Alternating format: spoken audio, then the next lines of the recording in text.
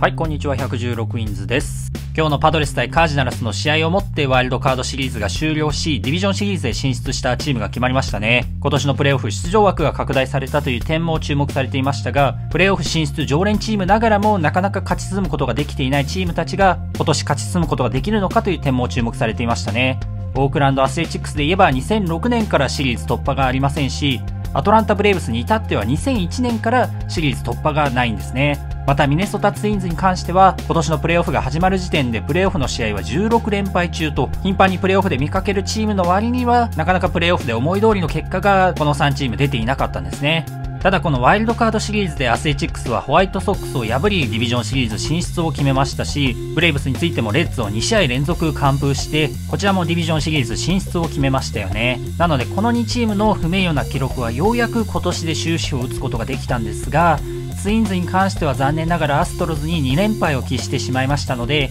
プレーオフでの連敗は18へと伸びてしまいました。それにしてもツインズはどうしてここまでプレーオフで勝つことができないんでしょうね。去年、今年と2年連続で地区優勝を果たしていますし、また2000年代以降、ツインズは8回地区優勝していますので、決して弱いチームではない、むしろ強豪と言ってもいいぐらいのチームのはずなんですが、ただこれがプレーオフになると本来の実力が発揮できないんですね。ツインズが最後にプレーオフの試合に勝ったのは2004年のディビジョンシリーズ第1戦のことですからもう相当昔のことなんですよね2004年のツインズといえばまだ本拠地がメトロドームですしまた2年前に現役引退したツインズの名捕手ジョー・マウアーがデビューした年でもありますのでそれだけ長い期間プレーオフで勝つことができていないんですねプレーオフでの18連敗という記録は北米4大スポーツでワーストの記録でしてシカゴブラックホークスが記録した16連敗を今回塗り替えてしまうという不名誉な結果となってしまいました。2004年からの16年間で18連敗を喫してしまったのは非常に不名誉なことではありますが、ただその間一度もプレーオフに進んでいないチームがあることも考えれば、プレーオフにそれだけ進出できているという事実は誇ってもいいことだとは思いますけれども、一方で記録もだいぶ長くなってきましたので、そろそろ止めたいですよね。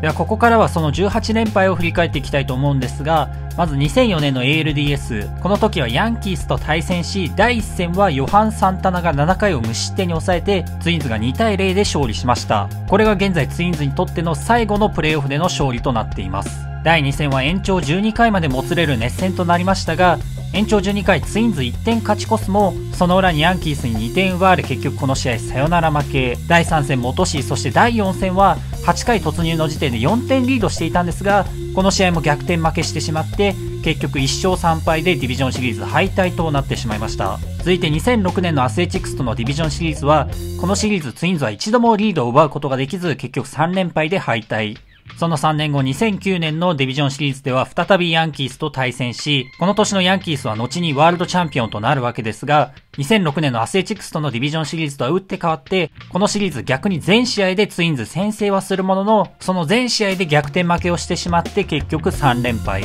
翌2010年もプレーオフに進出しますが、この時もまたヤンキースと対戦して、再び3連敗を喫するという結果となってしまいました。で、ここからツインズはなかなか勝てない時期が続いたんですが、2017年ワイルドカードでプレーオフ進出を決めて、またもヤンキースと対戦するんですね。この試合の初回にツインズ、ルイス・セベリーノを攻め立て3点を奪うんですが、ただその裏に3点を奪い返されて、結局8対4でこの試合も敗戦。そして昨年のディビジョンシリーズ、またまたヤンキースと対戦して、この年のツインズは MLB 史上最多記録となる1シーズン307ホームランを記録するほどの強力打線を要していましたので、今度こそヤンキースに勝てるかと多くの人を期待したんですが、ただその強力打線が機能停止に陥ってしまって、あっさりと3連敗を喫して敗退してしまいましたね。そして今年のワイルドカードシリーズは久々にヤンキース以外の相手との対戦となりまして、そろそろ勝てるかなと期待しましたが、第1戦同点の9回の表に守備の乱れから3失点してしまい、第1戦落としてしまうと、そのまま悪い流れのまま第2戦も落としてしまって、